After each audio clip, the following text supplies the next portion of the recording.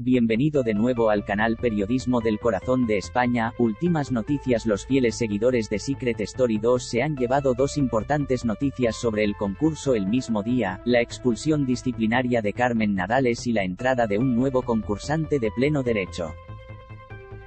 Toñi Moreno ha anunciado que alguien totalmente nuevo se unirá a los concursantes desde este jueves. Con la abrupta salida de Carmen, actualmente quedan ocho concursantes dentro de la casa y uno de ellos será expulsado esta semana. Una situación que, tras casi dos meses de concurso, apunta a que la final de esta edición con Anónimos está más cerca de la cuenta, ya que siempre son tres o cuatro participantes los que se disputan el maletín.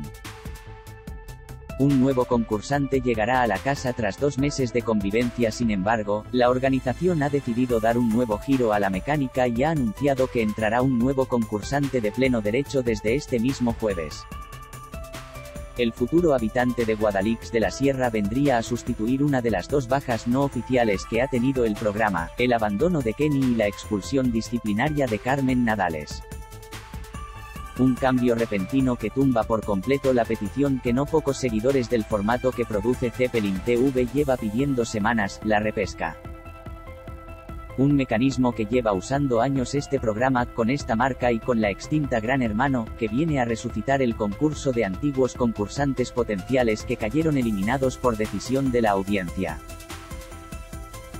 El de la repesca o el del adelanto de la gran final eran las dos posibilidades de movimiento con las que contaban los telespectadores tras el anuncio del programa de una importante noticia.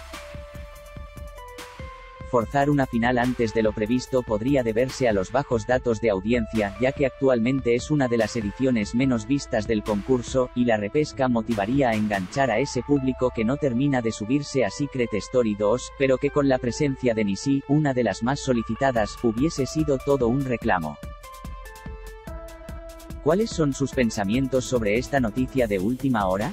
Por favor, dale me gusta y comenta tu opinión para que podamos discutir. No olvides presionar la campanita para seguir y actualizar muchas noticias interesantes. Adiós y nos vemos en los próximos vídeos.